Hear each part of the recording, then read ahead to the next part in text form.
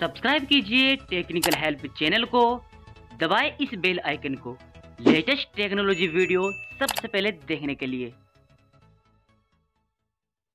तो अगर आप लोग भी जियो यूज़ करते हो तो ये वीडियो आज आपके लिए काफ़ी इंटरेस्टिंग होने वाली है। क्योंकि दोस्तों, आज मैं आपको एक ऐसा तरीका बताने वाला हूँ, जिस तरीके की मदद से आप अपने जियो इंटरनेट स्पीड को दो गुना तक बढ़ा सकते हो। जी हाँ दोस्तों, बिल्कुल मैं आपको लाइव प्रूफ दिखाऊँगा और आप अपनी जियो फोर स्पीड को दो गुना तक बढ़ा सकते हो। देखो ये सेटिंग आपको कुछ फ़ोन के अंदर तो ऑटोमेटिक मिल जाएगी, लेकिन जिस फ़ोन के अंदर ये सेटिंग नहीं है, उसके लिए आपको एक ऐप डाउनलोड करनी होगी। मैं पूरी सेटिंग आपको समझाऊँगा कि किस तरह आपको ये सेटिंग एक्टिव करनी है। देखिए, आपको ऊपर इंटरनेट स्पीड मीटर दिख रहा है तो आपको वहाँ पर लगातार दो बार टैप करना होगा। तो चलिए, यहाँ पर मैं लगातार दो बार टैप कर लेता हूँ। तो देखिए तो इस स्पीड मीटर से आपको ये मालूम हो जाएगा कि आपके बैकग्राउंड में जो ऐप रन कर रही है, जो आपका डाटा यूज़ कर रही हैं। अगर आपको इमरजेंसी में यूज़ करना हो, इंटरनेट काफ़ी फास्ट, अगर आप डाउनलोड करते हैं किसी मूवी को तो अब आपको इस मीटर पर दो बार टैप कर देना होगा। तो यहाँ पर आपकी सभी ऐप आ जाएँगी जो आपके बैकग्राउंड में आपका डाटा यूज़ कर रही हैं। तो बस आपको इन ऐप को इस तरीके से बंद कर देना है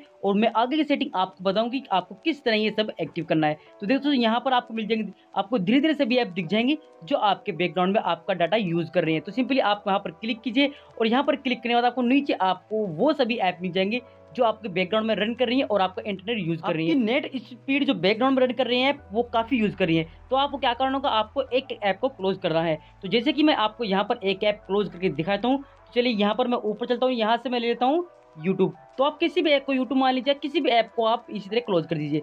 यहाँ पर मैं यूट्यूब को करता हूँ और नीचे आपको मिल जाएगा फॉरेस्ट स्टॉप तो बस आपको यहाँ पर क्लिक कर देना है। तब क्लिक करना जब आप इमरजेंसी में किसी मूवी को डाउनलोड करना चाहते हो, काफ़ी फास्ट तरीके से। तो बस आपको सभी ऐप को कुछ इस तरीके से फॉरेस्ट स्टॉप कर देना है। अब इसके बाद क्या होगा? तो इसके बाद आपकी जो बैकग्राउंड में रन कर रही है ऐप जो आपको डाटा यूज़ कर रही है, वो सभी डाटा स्टॉप हो जाएगा और आपकी जो नेट स्पीड है वो बढ़ जाएगी। जो आप डाउनलोड कर रहे हो, वो स्पीड आपकी बढ़ जाएगी। तो उसके लिए आपको एक ऐप डाउनलोड करने की सबसे पहले आप अपने फ़ोन का प्ले स्टोर ओपन कीजिए और प्ले स्टोर ओपन होने के बाद आपको वहाँ पर टाइप करना होगा। इंटरनेट चलिए मैं आपको यहाँ पर टाइप करके दिखा देता हूँ। आपको यहाँ पर टाइप करना होगा।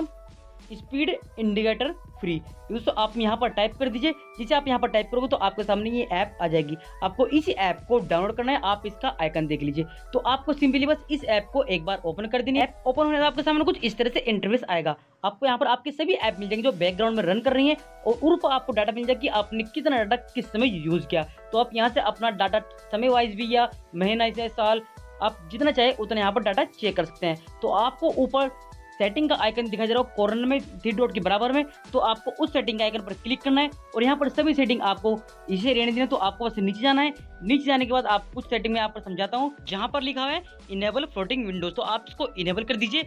अब इसके बाद आपको जहाँ पर लिखा फिक्स फ्लोटिंग विंडो आप इसको डिसेबल कर दीजिए। फिर आप नीचे जाइए, आप यहाँ से इसका साइज़ छोटा या बड़ा भी कर सकते हैं, या आप इसको लेफ़्ट राइट भी कर सकते हैं। तो यहाँ पर आपको मिल जाएगा साइज़ का तो आप यहाँ से इसको साइज़ कर सकते हैं।